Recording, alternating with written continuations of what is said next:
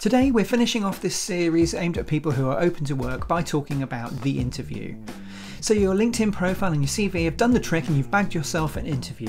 So what's important to maximise your chances? Do your homework on the organisation and the interviewer if you know who it is. Look them up on the internet and on LinkedIn. Find out a few facts about them that you can drop into the conversation. Dress appropriately for the company and their culture. You want to be a good fit, so don't turn up suited and booted if they're a jeans and t shirts kind of outfit. Look up on LinkedIn, see who you know who works there, and you can ask them what the dress culture is, or maybe find out the phone number for their reception, ring them up and ask them.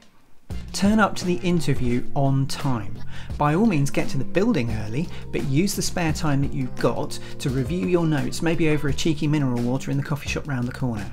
Don't have coffee, what if you spill it on your suit? Have some answers prepared for stock questions. Use the STAR format, that situation, target, action, and result, to tell stories about how you have approached and solved problems for organisations.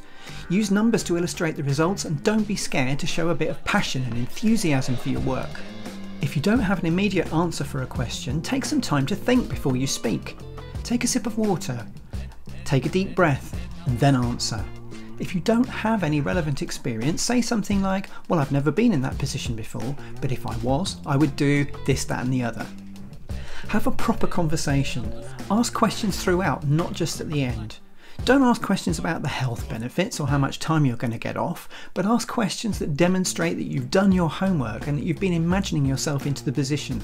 Something like, I see that your company has recently bought Company X. What effect do you think that might have on this position? Follow up. Ask the interviewer for their business card and as soon as possible send them an email thanking them for the interview and expressing your interest in the next steps. Maybe refer to a point that came up during the conversation, um, maybe supply a bit of extra detail that you couldn't think of during the interview. If the interview came to you through an agency, get in touch with the agent and give them your feedback. Follow these steps and you should be well on your way to securing an offer.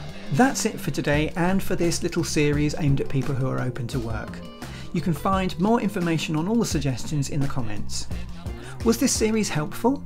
What did I miss? What would you add? Let me know in the comments. I hope you found the series helpful and I'll see you soon for more videos.